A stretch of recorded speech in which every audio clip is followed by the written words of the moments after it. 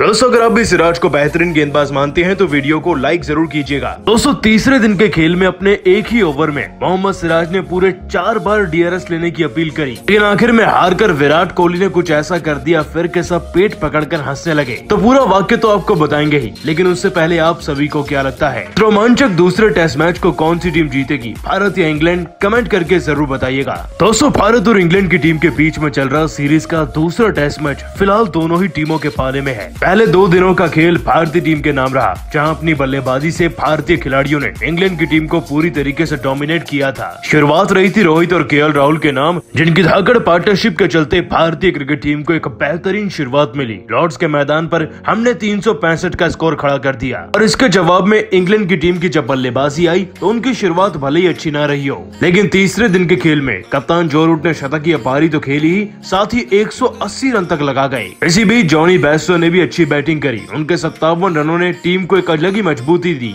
जिसके बाद इंग्लैंड की टीम पूरे तीन सौ इक्यानवे रनों पर ऑल आउट हो गई और वो 27 रनों की बढ़त से आगे है। लेकिन दोस्तों, जब भारतीय टीम की गेंदबाजी चल रही थी तो भारतीय टीम की तरफ़ से सबसे ज़्यादा विकेट लेने वाले खिलाड़ी सिराज ने इस इनिंग में कुछ ऐसा कर दिया अपने ओवर के दौरान कि भारतीय टीम के सभी खिलाड़ी अपना पेट पकड़कर हंसने पर मजबूर हो चुके थे। दरअसल दोस्तों, सिराज मैदान में ओवर एक्साइटेड ही नज़र आते हैं। हर बॉल जो पैड पर लग जाए, उसके वो रिव्यू की मांग करते हैं। लेकिन तीसरे दिन के खेल में तो कुछ अजब ही हो गया। अपने ओवर के दौरान उन्होंने छह में से चार गेंदों पर तो डीआरएस की मांग ही कर दी। दोस्तों ये पूरा वाक्य पारी के 115वें ओवर का है। आपको बता दें कि सिराज गेंदबाजी कर रहे थे और उनके चार विकेट भी पूरे हो गए थे। बात आ चुकी थी उनके पाँच विकेट के हॉल के कंप्लीट होने की, जिसके बाद तो सिराज ज़रूरत से ज़्यादा ही एक्साइटेड होते नज़र आए, वो भी हर बॉल पर। 115वें ओवर की पहली गेंद पर तो कोई रन नहीं आया, लेकिन दूसरी गेंद रॉबिन्सन के पैड पर जाकर लगी, और सिराज तो इस बात की भी तेज तर्रार अपील करने लगे, जबकि गेंद पूरी तरीके से बाहर की तरफ़ जा रही थी।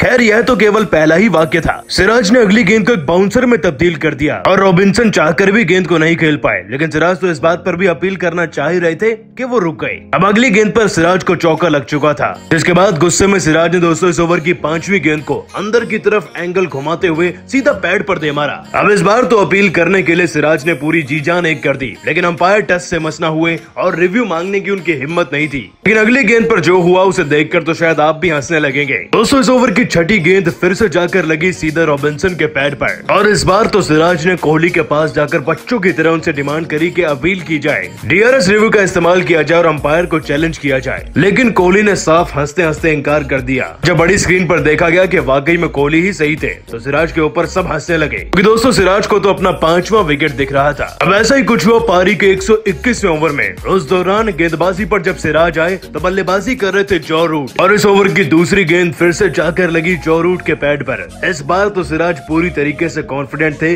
कि जॉ रूट आउट है। और सवाल जॉ रूट के विकेट का था तो कप्तान कोहली भी कन्विंस हो गए। टीआरएस रिव्यू की मांग तो की गई, लेकिन पाया गया कि ये तो अंपायर कॉल है। अगर शायद अंपायर्स ने भारतीय टीम के हक में फैसला सुनाया होता तो ज़ाहिर सी बात है कि जॉ रूट अगर डीआरएस लेते, तब भी बच नहीं पाते। लेकिन अब इसे सिराज की खराब किस्मत कहिए, या फिर भारतीय टीम के खिलाफ अंपायर कॉल का आज के पाँच विकेट भी रह गए, और न ही भारतीय टीम को जो रूट का विकेट मिल सका। दोस्तों, इन चारों रिव्यू के दौरान अब कहीं ना कहीं सिराज ने तो अपनी हरकतों से सबको हंसने पर मजबूर कर ही दिया था। लेकिन आप सभी को क्या लगता है? सिराज ने चार विकेट लिए और उनकी गेंदबाजी को आप दस में से कितने नंबर देंगे? कमेंट करके ज़रूर बताइएगा। ऐसी सभी ताज़ा खबरों के लिए अभी सब्सक्राइब कीजिए हमारे चैनल को। धन्यवाद।